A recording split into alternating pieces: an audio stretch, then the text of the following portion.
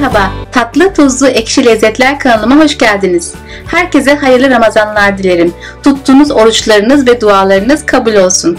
Bugün sizler için etli, nohutlu ve patatesli bir yemek yapmak istedim.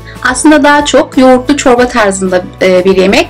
İsterseniz çorba olarak kullanabilirsiniz, isterseniz ana yemek olarak da kullanabilirsiniz. Mutlaka bu çorbayı denemenizi tavsiye ederim. Kıvamı gördüğünüz gibi bu şekilde.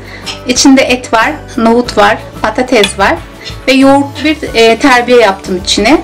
Yapım aşamalarına geçelim o zaman. O zaman etli, patatesli ve nohutlu çorbamızın malzemelerini saymaya geçelim. 250 gram civarında kuşbaşı etim var. Onu koyacağız. 3-4 tane küçük patates. Bir kase nohut. Nohutu daha önceden haşlamıştım ben. Ee, ve içine terbiyesi için bir bardak yoğurt. Eğer süzme yoğurdunuz varsa daha da güzel sonuç alırsınız. Benim yoktu. Normal yoğurt kullanacağım. Ve içine 2 yemek kaşığı un, bir tane yumurta koyacağım. Bir bardakta benim et suyum var. Onu daha önceden hazırlamıştım ve buzluğumda bekliyordu beni. Onu bu yemekte kullanmak istiyorum. Ve 2 diş de sarımsağım var. Malzemelerimiz bu kadar. Yapım aşamasına geçebiliriz. Etimizi tencereye koydum. Etlerimizin haşlanması gerekiyor. Etlerimiz burada haşlanırken biz de patateslerimizi küp küp doğramaya geçelim.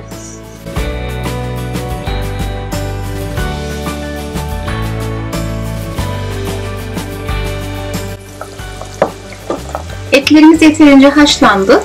Pişmesine yakın içine doğramış olduğumuz patateslerimizi ekliyoruz.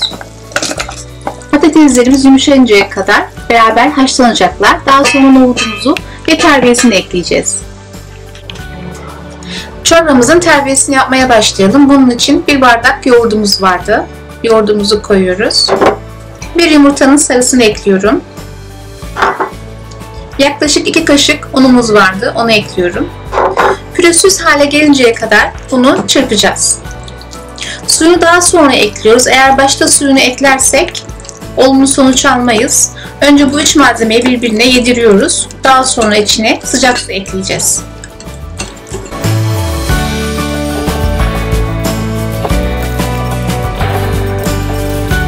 İstediğimiz kıvama geldi.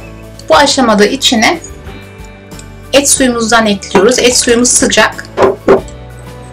Biraz biraz ekleyerek onu yediriyoruz.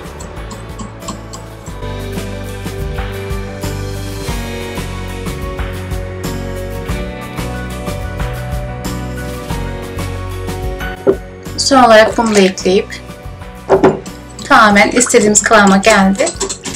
Koyu ayran kıvamında oldu. Bunu şimdi ocakta kaynayan çorbamıza ekleyeceğiz. Patateslerimiz ve etlerimiz pişti. Bu aşamada içine nohutlarımızı ekliyoruz. Kase nohutumuz vardı.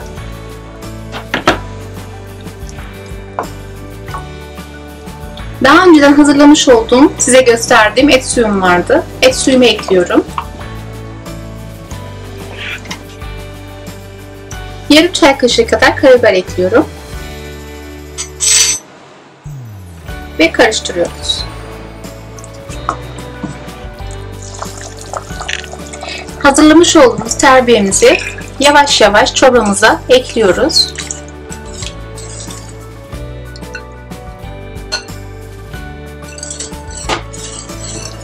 Kısık ateşte kaynayıncaya kadar çorbamızı pişireceğiz. 2 diş sarımsağımız vardı. Bunu yapıyorum.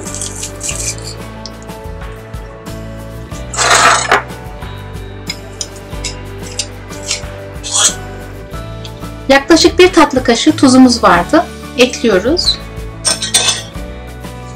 Ve karıştırıyoruz.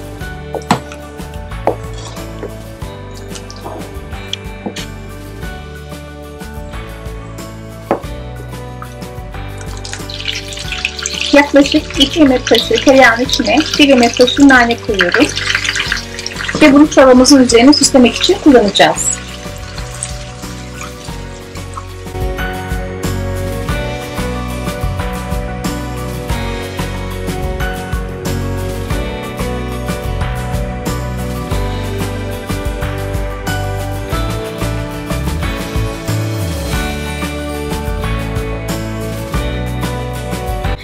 Çorbamızı beraber hazırladık. Yapım aşamalarını gördünüz. Sizler için sunum hazırladım. Mutlaka yapmanızı tavsiye ediyorum. Çok lezzetli ve pişman olmayacağınız bir tarif.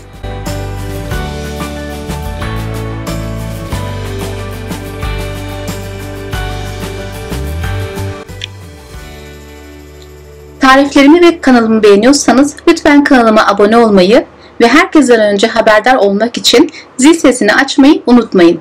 Bir dahaki tariflerimde görüşmek üzere, hoşçakalın.